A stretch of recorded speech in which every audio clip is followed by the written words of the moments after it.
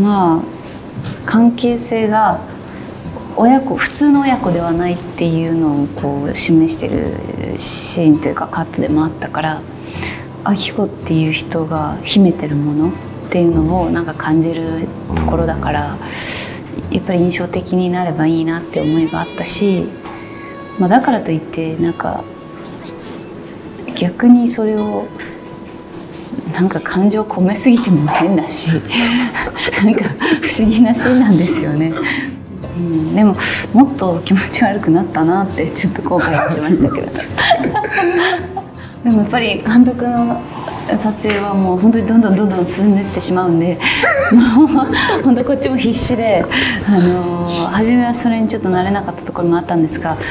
だんだんこう食いついていけるようになったりとかしてであの時も割とこう一発できっと終わっちゃうからっていうので自分の中で高めていったんで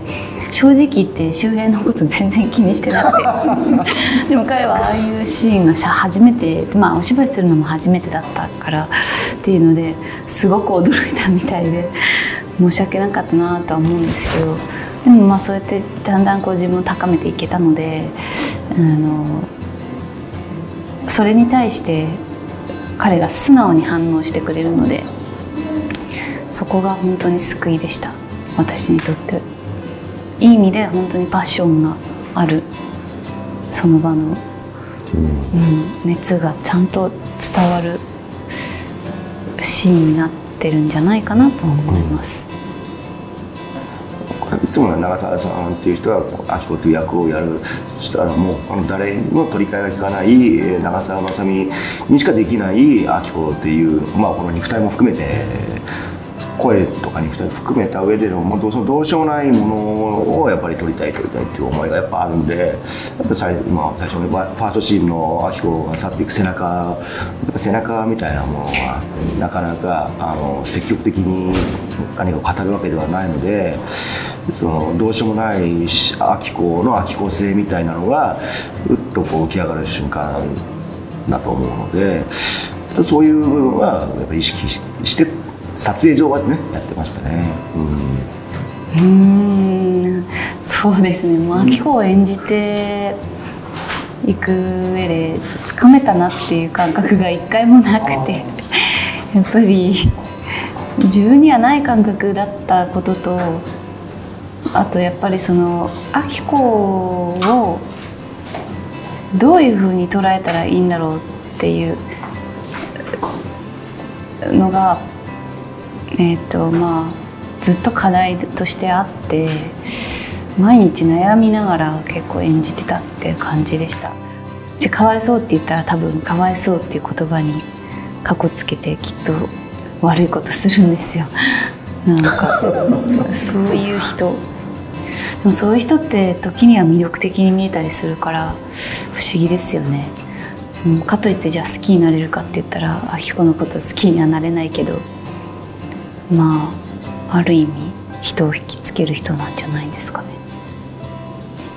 メイクさんも本当に毎日「いいね いい顔してるね」って言われました。なんであの最後とかああいう顔ってなんでどうしてああいう顔やったんだろう。すごいよね。分かんない映画をやっぱ撮影していく中でなんでこんな顔すごい顔をする人になっちゃったなっていうぐらいあの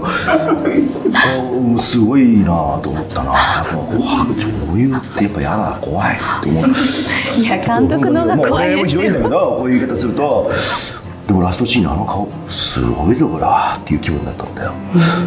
うん、あんな顔を撮れてよかった。見れて一番そばで見れてよかったし撮れてよかったなっていうすごい思います。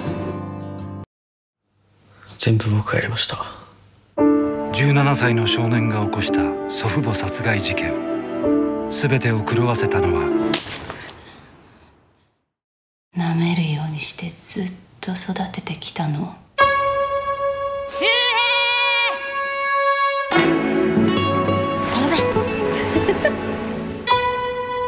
私があいつをどう育てても親の勝手じゃないですか。学校行きたいんだけど。お金ないよ。あれは俺のことな。お母さんと離れて暮らすこともできるんだよ。あすご罪を犯してまで少年が守りたかったものとは。絶対無理。一人じゃ生きていけないですよ母さん。マザーこの真相を受け止められるか。